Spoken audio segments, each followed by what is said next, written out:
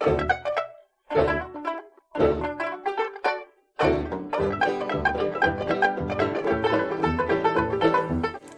everyone, and welcome back to Scandinavian Design 101. I'm Sanna. I'm Andreas, and we are two Swedes, and we love design. we do, and today we'll be exploring the most amazing and extraordinary architectural projects I've ever seen.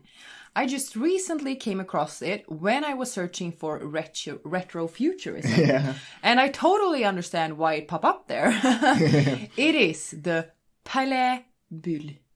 Yeah, something. or Bubble Palace by Hungarian architect Antti Lovag. Let's get into it. Yeah.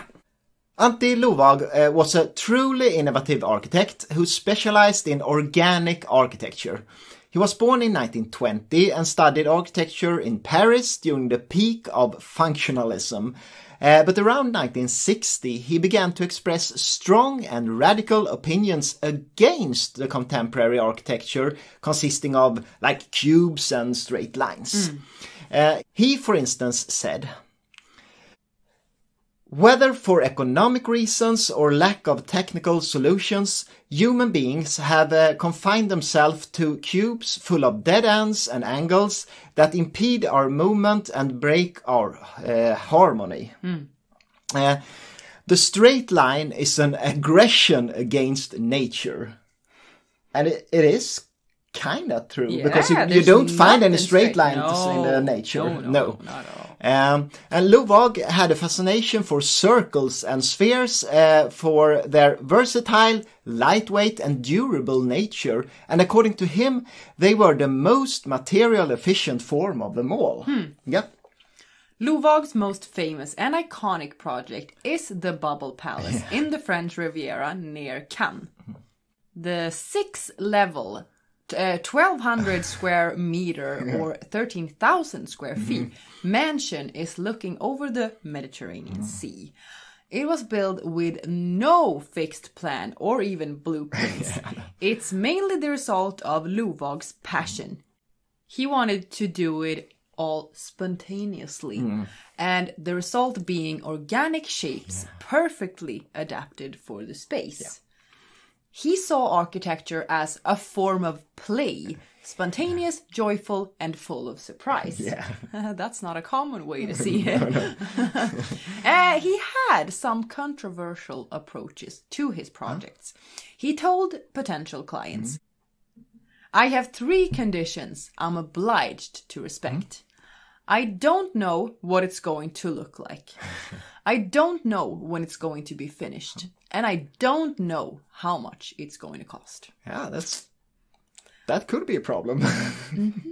He have also said, I've always worked with event- adventurers who wanted something mm. that didn't exist. And with these in mind, he did not get many clients, sadly. Not many people are that wealthy and open minded visionaries. no, obviously not. Mm-hmm. Um, the Bubble Palace was under construction between 1975 and 1989, so, so 14 years. and that's a long time, uh, but it's totally understandable. It. Uh, he began with an iron rebar network that enabled him to visualize the interior spaces. Uh, he then uh, cast a layer of concrete over the um, these metal templates. Uh, um, the commissioner was Pierre Bernard, a French industrialist, uh, but he never came to live there. Um, and after Bernard's death, it was bought by the fashion designer Pierre Cardin in 1991. And he did not live there either, but of course he held parties and fashion events there. And it's said that Cardin rented out the place for uh, commercials and events, like for approximately $33,000 a day. Mm. So it was expensive. Mm-hmm. yeah. The palace consists of 29 mm. rooms, 10 bedrooms, and 11 bathrooms. Several circular swimming pools, mm-hmm. waterfalls, exotic gardens, and even a 500 seat open air amphitheater overlooking the Mediterranean. What do you need an amphitheater for? Yeah, it's perhaps for these like big events than uh, like Yeah, fashion but- events. uh, Yeah, but Cardin didn't build it. No? So why not. why is it there? It's Ah, that's crazy. strange.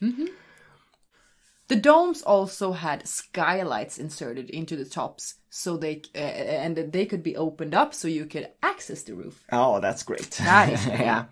And Lovag also designed, decorated, and furnished all the interiors uh, with help from other contemporary artists. Mm-hmm. And he did not create the sp- uh, space offered after specific rooms like living room or kitchen. He instead installed the furniture according to the rhythm of the people uh, that, that lived in the house. Uh, and Nobody did. no, no, I read that. And to be honest, I don't really get this. No, it sounds a bit weird. crazy, Yeah. uh, but it was probably never really intended uh, as a house to actually live in. It Maybe was not. Mm. more like this big mansion, and um, yeah.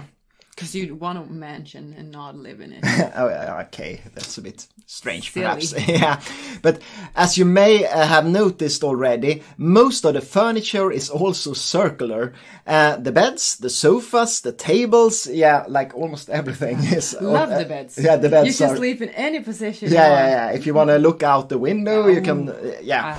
Um, uh, and take a closer look at these amazing lounge chairs designed by, uh, yeah, Claude Prevost. Perhaps, Maybe. yeah. They at least I, I don't know how to pronounce his No, names, but they name, are but the they most are, amazing Yeah, they are. of furniture in there. Yeah, I would love one of these. Oh, yeah. yeah. The Bubble Palace Mm-hmm. has been on the list of uh, historical monuments Yeah. of the French Ministry of Culture since 1999, and I understand why. Hmm. Yeah, yeah. In 2017, it was listed for sale, actually, Yeah. with an asking price of uh, 350 million euro, and that is 420 million dollars. Ooh, that's a lot of money. yes, uh, and it could not find a buyer. Uh, obviously. Why? I would Because- love to if I had. Yeah, that but I mean, where did they come up with that uh, sum of money? I don't know. Uh, it was one of the highest asking prices ever for a European property. Yeah. Actually. After Cardin's uh, death in 2020, it's not decided what's going to happen with the Bubble Palace. But hopefully it will be open to the public to Yeah. visit. I would love to. Yeah, it should be a museum or something. It yeah. really should. It seems like it can still be rented, but I don't know for how much, but it's probably way too much for most people. Yeah, I mean, who can pay like thirty thousand a day or so? Yeah, I don't know. nah. But that's all for today. What did you think about the Bubble Palace?